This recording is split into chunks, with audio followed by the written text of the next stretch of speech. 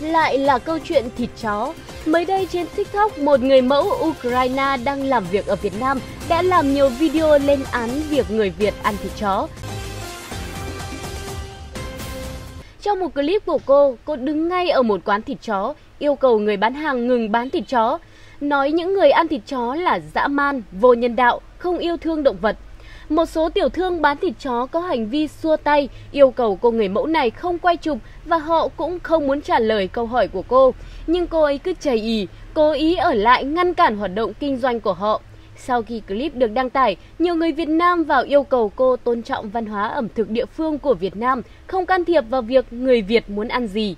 Hiện nay, sự việc này vẫn đang nhận được nhiều sự quan tâm với nhiều ý kiến trái chiều, cụ thể có nhiều comment như Muốn quay phim chụp hình nhưng người ta không cho phép là vi phạm luật thông tin cá nhân. Chưa kể, việc phát tán trên mạng xã hội Nước ngoài văn minh lắm mà sao qua Việt Nam làm cản thế em gái Việt Nam chiều em quá nên em nhờn à Tôi là người yêu chó, nhưng trường hợp này cô ấy sai rồi. Mỗi quốc gia mỗi khác, không thể bắt người khác làm theo ý mình được. Tôn trọng những người không ăn, còn có ăn thì thôi cũng chả quan tâm.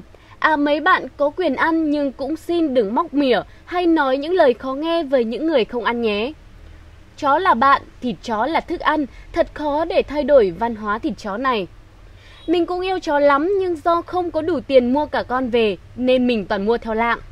Bản thân mình cũng rất thích chó, nuôi cả chó nữa, nhưng mà bản thân mình chưa phải là người sống thuần chay nên thiết nghĩ cũng không có quyền lên tiếng khi bản thân vẫn còn ăn những con vật khác như heo, gà, bò. Cô gái nước ngoài đó đúng ra không có quyền gì nói khi đó là nơi buôn bán của người dân bản địa, trừ khi cô ăn chay và hướng đến bảo vệ tất cả động vật, không chỉ riêng chó mèo. Trường nào ăn chay trường đi rồi bắt bẻ người ta gì cũng được, bày đặt lên án thịt chó trong khi bò gà heo thì ăn như nạm. Vậy còn bạn, bạn có suy nghĩ gì trước hành vi của cô gái? Đừng quên để lại comment dưới video này nhé!